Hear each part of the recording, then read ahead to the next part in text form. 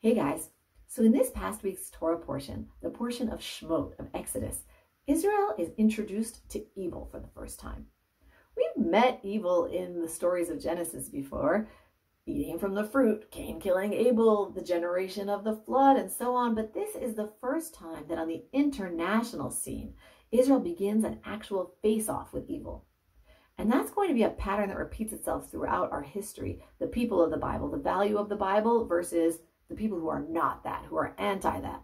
And we know that there's always something really important hidden in the first time an idea appears in the Torah. Hashem puts a deep meaning when he introduces us to a new concept.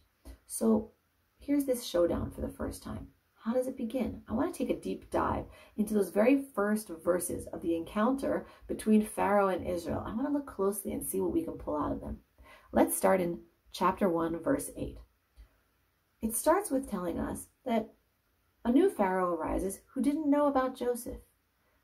And then he opens his mouth. What is the very first thing he says? It says in Hebrew, Vayomer el amo. Pharaoh spoke to his people, to his nation. He said, Hine am b'nei Israel rav v'atzum mimeno. At first reading, what verse 8 means is that there is there are these children of Israel, and there are people that's going to grow and become greater than us. They might make a war against us, so we need to figure out how to stop them. But if you read it closely, the sentence can actually bro- be broken down into two parts. And if you read the first part, the very first thing he actually says is just Hine am b'nei Israel. The children of our is the children of Israel are a nation. He exclaims, "The children of Israel are a nation." I don't like where this is going. You know, then they're going to become more than us. They might make a war. But the actual fundamental thing that bothers him is that Israel are acting like a people. That's what bothers evil.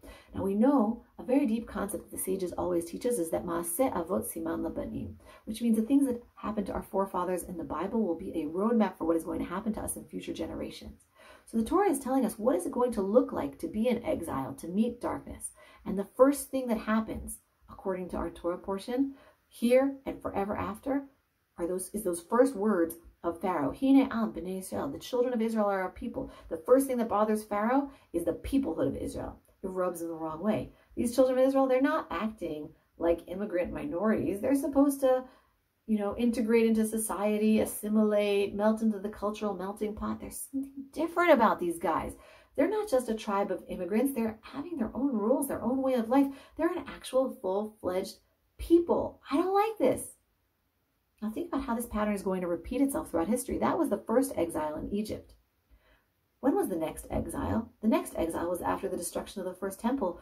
We read about that in the book of Esther under the rule of Ahasuerus. Israel is in exile once again and meets evil in the form of Haman.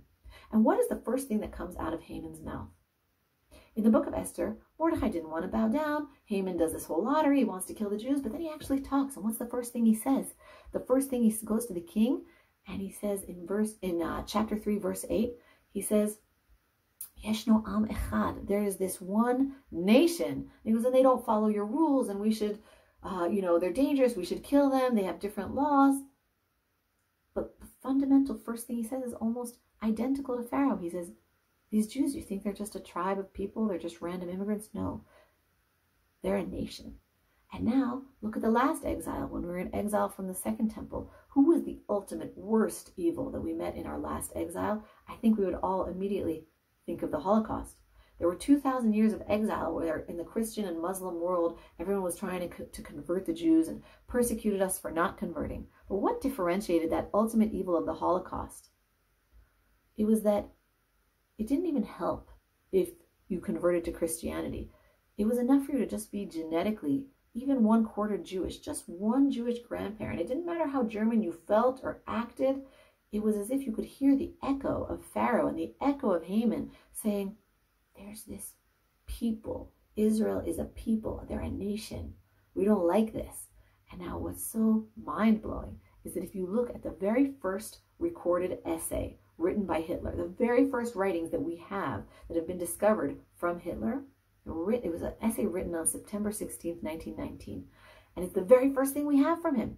And it's like a broken record. Look at the first words he opens up with. He says, to begin with, meaning first point that I want to make. And I'm quoting. He says, the Jews are unquestionably a race, not a religious community. The Jew never describes himself as a Jewish German, a Jewish Pole, or a Jewish American, but always as a German Jew, a Polish Jew, an American Jew. And then he goes on and says, even the Mosaic faith, however great in its importance for the preservation of their race, cannot be the sole criterion for deciding who is a Jew and who is not meaning the very first time Hitler sits down with a pen and paper to write something, that great evil force of our third exile, the first thing he wants to exclaim and tell people is the same thing that Pharaoh exclaimed and the same thing that Haman exclaimed. These Jews, they're not just a religion, they are a people. A people has a history and a future, and that is not a good thing. And what's so shocking is that just like Pharaoh in our portion that says, Havanit chakmalo, let's make a cunning plan. Hitler writes that the problem in his mind is emotional anti Semitism. He says emotional anti Semitism has found its expression in the form of pogroms. But then he writes rational anti Semitism, by contrast, must lead to a systematic and legal struggle and, the, uh, and uh, against the privileges that the Jews enjoy. And then he goes on and says the final objective must be the total removal of all Jews from our midst. So what we see is that the very first thing that Pharaoh notices the very first thing Haman notices, the very first thing Hitler notices, the Jewish people are a people. Step one, Hashem is giving us the roadmap. The side of darkness will be agitated and uncomfortable and angry when the Jews stand up and say, We are a nation, we are a people. When we show that to the world, the side of evil wakes up. And look at verse 10 right here in our portion. Pharaoh says, Let us deal shrewdly with them, lest they increase. And if a war befall us, they will join our enemies and wage war against us and then depart from the land. What could be a more irrational argument than this? He says, Well, we have this tribe. We're the big superpower of the Middle East. We're Egypt. Maybe this little tribe, they have a pretty high birth rate. They're going to make a war against us and, and overtake us. That's totally irrational in and of itself. But let's go with him. Okay, let's say he's right. Wouldn't he want them to depart the land? But then he says, Lest they depart the land. If they're so awful, don't you want them to depart from the land? So here we see it again mapped out. Step two, after noticing they're a nation, you go, this little nation is going to take over the world, right? There, this paranoia. And then step three, you would think you'd be happy for them to leave you alone, but then evil will say, they're going to leave. Where are they going to leave to, if not back to the land of Israel? So we start with recognizing they're a nation, then this paranoia that they're going to overtake us, and then this fear that they're going to leave and make their own they make their own land. What could be less clever and cunning? Pharaoh says, let's do something clever and cunning, but he says something that sounds absurd and completely unclever. He says, these people are going to outnumber us and, and then overtake us and then go make aliyah. That is just a really weird argument, but maybe while it sounds nutty, it's actually not so nutty at all. Maybe he's tapping into something really true and really deep that he doesn't know how to articulate it, but it feels it down in his guts. Maybe he feels something intuitively. Maybe the side of evil knows something intuitively. They might not be able to articulate it in a way that makes sense and sounds rational, but they mean something really deep. The Jews are a people, they're not going to fit in. They're not going to be one of us. They're not just going to assimilate and disappear. But in the bottom line, the greatest fear is exactly what Pharaoh says in the end of verse 10. Penya alumin haaretz. Maybe they will leave our land and go back to Israel and make a Jewish kingdom. Why is that so scary to him? He doesn't tell us. But maybe he's expressing what he knows deep down, what always the side of evil knows deep down, that the Jewish people living in the land according to the Torah and the Word of God will bring a light to the world that the side of evil can sniff out. They sense it and they don't want that. They're always going to be against that. And look how that pattern repeats itself. Haman gets Achashverosh to agree to kill the Jews. But if they hate the Jews so much, wouldn't they just want to send them back to Israel instead of having them with them in Persia? But instead, in the book of Ezra, we see none other than Achashverosh himself putting a building freeze on the temple, trying to shut down the reestablishment of our second commonwealth. He feels it. He feels it deep down. And then look at the Holocaust, the great evil of our last exile. If the Jews were vermin, like Hitler argued, if the Jews are taking over the world, like the elders of Zionists, you know, the elders of Zion uh, propaganda was trying to, you know, teach the world, shouldn't they have just encouraged Zionism? Wouldn't they have just been happy? Get out of here, get out of Germany, clear Europe from the Jews. It seems totally irrational, but we know that in reality, Germany locked the gates. They wouldn't let the Jews out. Not only them, the Jews that did manage to escape, the British were blockading the boats of Jews escaping from the gas chambers and not letting them into the land of Israel. Everyone feels it, even if they don't say why. They don't want Israel to return to their land as a people following the word of God. And we continue to see this today. Sometimes I watch the news and I get so discouraged. I see the lies. It, they don't even make sense. Like Jews are making an apartheid state, the only democracy in the Middle East where any minorities have any rights at all. They're the aggressors. They're the apartheid. That doesn't make any sense. And then you see rising anti-Semitism in the world, you'd think their response would be great. Go to Israel, make your own country, get out of here. But those same anti-Semites will still tell you, no, give away your land, your occupiers in Judea. There's nothing coherent about it.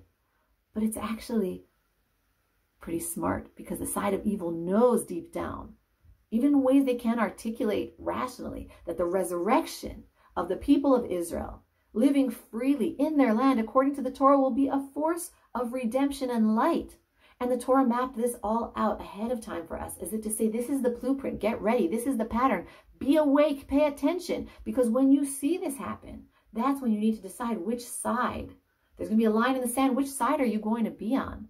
And that's when you know, when you see this pattern repeating itself, that you are at the cusp of redemption and it's not a coincidence. It's part of Hashem's plan. So instead of getting frustrated and discouraged by the evil, we look at the evil and we look at those lies and we say, good, I'm glad. I'm glad this is happening. I might have been upset. I might have been scared, but I already read the end of the story. I know that in just two more Torah portions, we're going to get to the Exodus. We're going to get to the splitting of the sea, the redemption. I know where this story goes, and I know it repeats itself again and again throughout history and in every exile. Whenever there's a showdown between good and evil, I know where this story is going. So I'm not nervous. I'm just going to sit and wait with emunah and bitachon, with faith, to watch Hashem's plan unfold in the most beautiful, miraculous, and redemptive way. So, with that, I hope you guys all have a beautiful, inspired, and courageous week. Bye, guys. Hi, my name is Jeremy Gimpel. A lot of people want to know exactly what the Land of Israel Fellowship is and what members receive when they join. So let me explain. The Land of Israel Fellowship is a global online community with hundreds of members from over 40 countries around the world. Their live sessions and gatherings that create a direct personal connection to the land of Israel and to lovers of Israel from around the world. There's no online gathering that I'm familiar with that is connected to the land of Israel that unites and brings together such a diverse group of people, backgrounds, and nationalities. It feels like prophecy. It feels like something we need in these times, like a window in to a better future on the horizon. There's a divine unity we experience every week in our fellowship broadcast. We heard these amazing teachings from an authentic Hebrew and Israel perspective, and our jaws drop. Not only because they ring so true and are such a blessing, because they are so consistent with what we believe. These Sunday morning gatherings are nothing less than a house of prayer for all nations. Cindy Lowe, the United States of America. The Land of Israel Fellowship is an amazing resource for learning Torah, the Bible, and the prophets unfiltered and uncensored directly from the land of Israel. We've been studying Torah for almost 20 years, but we feel we are stepping into it more than ever and seeing new depth and dimensions to Scripture. We're encouraged more and more every week. Callan Ardell, USA. Members receive access to all the archives in the library of teachings on every portion of the Torah, the biblical feast, Hebrew prayer, prophecy, sessions on the ancient wisdom of the prophets of Israel, to help us navigate through these turbulent times. These sessions are so rich. I re listen to each, and truly, each session is the best one yet. Tehila is a tremendous asset, and the teachings Ari shares are so rich. I've read the Bible so many times, and I've known the things you are teaching. The Hebrew understanding is what Christians have missed for centuries. Sister Georgian from Germany. The Land of Israel Fellowship is truly unique because it's built upon personal relationships with the teachers of the fellowship, myself, Rabbi Ari Abramowitz, in Tehila Gimpel. Every member has direct access to the staff 24 6 via email or direct WhatsApp to ask questions, to comment, to connect directly to all the teachers. And over the last years, we've connected to some of the most beautiful people on the planet. So if you want to find out more and join the Land of Israel Fellowship, you can click on the link below. And if you want to try it out for just a month, you can email fellowship at thelandofisrael.com and we'll hook you up. I hope to see you Shalom from the mountains of Judea.